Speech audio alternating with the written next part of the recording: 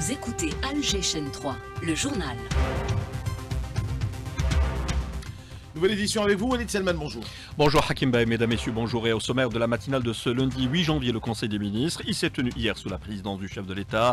Coopération militaire algéro-allemande à la faveur de la visite du directeur politique au ministère fédéral allemand de la Défense à Alger. Les nouvelles du temps avec euh, un ciel particulièrement généreux, un temps propice aux coups de froid et autres maladies. Activités politiques, les avancées enregistrées depuis 4 ans soulevées lors de la deuxième session du comité central du FLN. On reviendra également sur la perspective du Forum international du gaz prévu à la fin février à Alger. Et puis la prétendue euh, candidature du Maroc pour la présidence du comité des droits de l'homme de l'ONU euh, provoque une levée de boucliers. Aucun répit euh, dans l'entreprise génocidaire sioniste en Palestine. Parmi les martyrs ces dernières 24 heures, deux journalistes dont le fils de Wael Dahdoua. Il y aura également du sport avec la Coupe d'Algérie, le tirage au sort des 32e de finale avec une très belle affiche, JS Kabylie, Shabab de Belouizdada. Et à la une de l'actualité, pour commencer, le Conseil des ministres qui s'est tenu hier, Walid. Un Conseil des ministres à forte connotation économique, accélérer la réalisation de la raffinerie de Hassim Saoud, récupérer les terrains dans le pourtour du complexe Al-Hajjar, l'auto-entrepreneuriat, une option qui a besoin de plus de médiatisation, des instructions du président de la République pour le partenariat public-privé. La copie doit être enrichie. Autre orientation du chef de l'État, Sofiane Saouli. D'abord, cette décision du président de la République de reporter l'examen du projet de loi sur le partenariat public-privé, report pour approfondissement et enrichissement. S'agissant de la relance du dispositif de l'auto-entrepreneuriat, le président Tebboune a souligné la nécessité de veiller à ce qu'il n'y ait pas d'enchevêtrement entre les métiers de l'entrepreneuriat et certains métiers artisanaux pour que ces derniers ne soient pas impactés. Il a instruit justement pour une campagne médiatique afin de faire connaître ce dispositif aux jeunes et attirer ainsi leurs projets.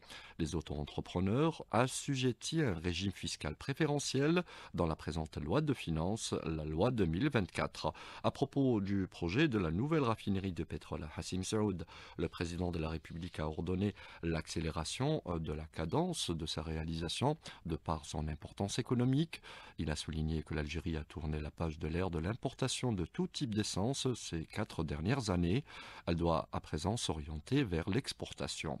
Question foncier industriel, le président Tebboune a ordonné au ministre de l'Industrie et de la Production pharmaceutique de superviser l'opération de récupération du foncier industriel dans le pourtour du complexe sidérurgique de l'Hajjara al-Naba et l'orienter vers l'investissement sous forme de concession cessible après finalisation du projet. Et puis ces mesures prises pour contrôler la disponibilité des produits de large consommation, le président de la République instruit pour la création de laboratoires d'analyse au niveau des ports et aéroports afin de veiller au respect des normes sanitaires lors de l'importation de viande et des produits alimentaires. On retiendra que le ministre de l'Enseignement supérieur a été instruit par le président de la République à propos de la situation des étudiants palestiniens en Algérie pour leur prise en charge immédiate après interruption des contacts entre ces derniers et leurs proches dans les territoires palestiniens occupés. Le président de la République, nous lisions, qui a ordonné le report du projet de l'important partenariat public-privé pour approfondissement et enrichissement. Le projet du texte viendra officialiser, encadrer le nouveau mode de gestion du service public. Plus de détails avec Mahfoud Kaoubi, expert en économie. Le PPP se propose comme un moyen que euh, la sphère privée met à la disposition de l'État et de ses entités pour euh, améliorer et rationaliser la dépense relative à la réalisation de grands projets et de services publics, ce qui permet in fine euh, une euh, efficacité nettement meilleure et une efficience euh, en matière de réalisation et de gestion de deniers publics voilà ce que nous pouvions dire concernant les orientations du président de la République hier lors du Conseil des ministres. Et dans l'actualité, aussi question de coopération algéro militaire algéro-allemande. Et cette visite en Algérie du directeur politique et conseiller à la politique étrangère et la sécurité auprès du ministre allemand de la Défense, Gasper Wick, reçu hier par le chef d'état-major de l'ANP, le général d'armée Saïd Chengriha, s'est exprimé lors d'une rencontre sur les perspectives de la coopération entre les deux pays et a évoqué également les défis sécuritaires dans le monde, particulièrement dans le bassin méditerranéen et en Afrique, a échangé les points de vue sur les questions d'actualité pour Saïd Chengriha. Cette visite reflète l'ambition des deux pays de développer davantage leur coopération. Votre visite reflète la volonté de nos deux pays à consolider davantage nos liens de coopération bilatérale et à examiner les voies et moyens de son renforcement pour la hisser à la hauteur de la qualité des relations entre l'Algérie et la Fédération d'Allemagne. À ce titre, nous sommes totalement convaincus que notre rencontre sera fructueuse et ouvrira de nouvelles perspectives de coopération dans les domaines de la sécurité et de la défense. C'était le chef d'état-major de l'ANP, le général d'armée Saïd Chingrih. On parle de météo, euh, Walid Selman, euh, avec euh, un ciel clément et générant pluie. L'hiver bien installé, le ciel a été généreux en effet ces derniers jours, pluie abondante et Montaublon. Les alertes neige et pluie centre-est et à l'ouest du, à l'est du pays en vigueur respectivement jusqu'à midi et 15h ce lundi. Prudence sur les routes est plus que jamais recommandée, d'où l'impératif de vous faire rappeler d'ailleurs les statistiques de cette année 2023 où la Grande Faucheuse a sévi selon un bilan de la protection civile. 1336 personnes ont été tuées dans des drames routiers. Ces temps hivernal propice également coup de froid. Alors prenez vos précautions entre grippe saisonnière et nouvelle souche du Covid. Il n'est pas toujours facile d'être fixé. Hassan Chemal s'est intéressé à la question et nous apporte plus de détails. La grippe est responsable de nombreuses hospitalisations et de décès chez les personnes fragiles. Pour se protéger efficacement, le vaccin est indispensable nous dit le docteur Fourard, directeur général de la prévention au ministère de la Santé. La vaccination, c'est la meilleure arme pour combattre la grippe. Il faut que les gens maintenant, euh, surtout les populations vulnérables, se fassent vacciner pour donc euh, pas arriver à éviter les, complications de la grippe et surtout les décès que nous enregistrons annuellement euh, en Algérie. Quelles sont les personnes qui ont un risque élevé de complications? Le docteur Sami Ahmadi, de la prévention du ministère de la Santé ce sont les personnes âgées de plus de 65 ans, ce sont les personnes qui sont atteintes de pathologies chroniques, la femme enceinte. C'est les personnes obèses aussi, parce qu'elles deviennent des personnes à risque, comme les personnes diabétiques, donc elles doivent se faire vacciner. La prévention se fait toujours avant l'épidémie, nous dit le professeur Soukhal, épidémiologiste. Jamais après l'épidémie. Donc ce qu'il faut savoir, c'est qu'il faut se prémunir contre cette grippe et pouvoir avoir des anticorps contre les virus qui sont actuellement circulants. Et c'est pour ça qu'il faut se faire vacciner maintenant, tout de suite, pour pouvoir avoir des anticorps protecteurs suffisants contre l'infection. La grippe est une infection respiratoire qui peut entraîner chez les personnes à risque des complications graves, telles qu'une pneumonie ou l'aggravation d'une maladie chronique déjà existante, comme le diabète, l'insuffisance cardiaque ou respiratoire. 7 à 8 minutes, euh, info politique euh, avec la session du comité central du bureau du FLN. la deuxième, qui a approuvé euh, lors de cette deuxième session d'ailleurs la nouvelle composition du bureau politique, autre à l'adoption du règlement intérieur du parti et de ses commissions permanentes. Les avancées, notamment en plan économique, ont été soulevées lors de cette session. Le SG du FLN salue les acquis réalisés par l'Algérie en peu de temps et les efforts déployés par le président de la République à travers son parcours enrichi par ses contributions en vue de renforcer la souveraineté, la sécurité et la stabilité. Abdelmalek Ben Barak. Le bilan de ces quatre années confirme que depuis l'élection du président Abdelmajid Tebboune, l'Algérie a connu une transformation significative et un développement notable à différents niveaux. Le chef de l'État a entrepris la mise en œuvre des engagements promis au peuple algérien dans son programme électoral. Ces engagements se sont concrétisés aujourd'hui en réalisation tangible. Nous confirmons que notre parti soutient activement la construction d'une nouvelle Algérie, non seulement par des paroles, mais aussi par des actions concrètes.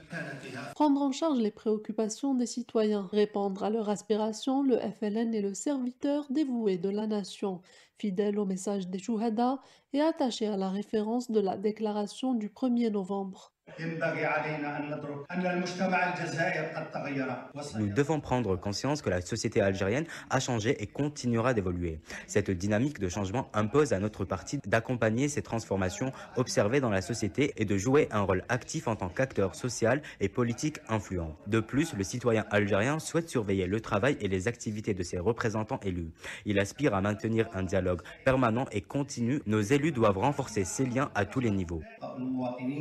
Le parti étant un véritable partenaire adhère au processus d'édification de l'Algérie nouvelle aux côtés de l'État face à tous les complots visant à porter atteinte à sa souveraineté. Un rendez-vous crucial pour les grands acteurs euh, du marché énergétique, euh, le Forum des pays exportateurs de gaz prévu fin février à Alger. À partir du 29 février jusqu'au 2 mars, les questions en prioritaire en débat lors de ce rendez-vous et la place de l'Algérie en tant que pays producteur et partenaire fiable. C'est la question auquel s'intéresse Jawid Azzouk. Les enjeux du gaz naturel euh, dans la conjoncture perturbée sur le plan géopolitique actuellement est marquée par la crise énergétique en Europe.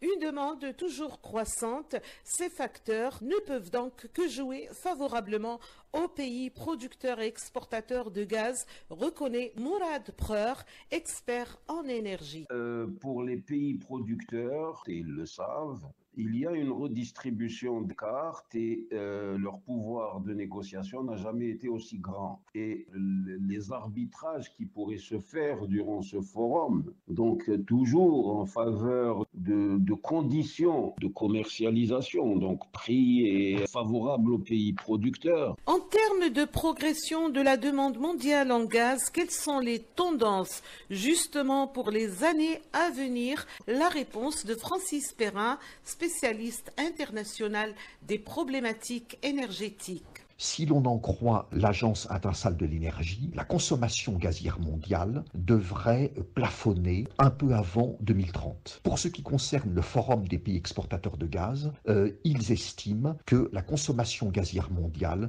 pourrait augmenter d'environ 36% euh, au cours des trois prochaines décennies et que la part du gaz dans la consommation mondiale d'énergie augmenterait passant d'environ 23% aujourd'hui à 26% vers 2050. Le gaz algérien, en tout cas, contribue à la diversification des approvisionnements gaziers européens à l'heure où la demande mondiale progresse, et ce, en raison du facteur démographique, l'urbanisation, la croissance de l'économie mondiale, mais aussi en tant qu'énergie de transition.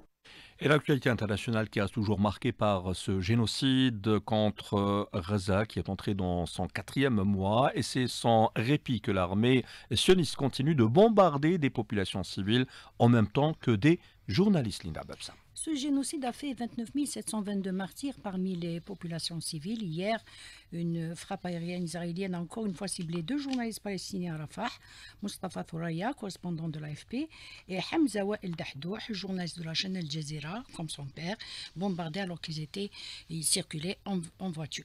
El Dahdouh a déjà perdu son épouse et deux de ses enfants dans le bombardement de, leur, de sa maison au cours des premières semaines de la guerre. Il y a quelques jours, Wael Dahdouh a été visé par un drone.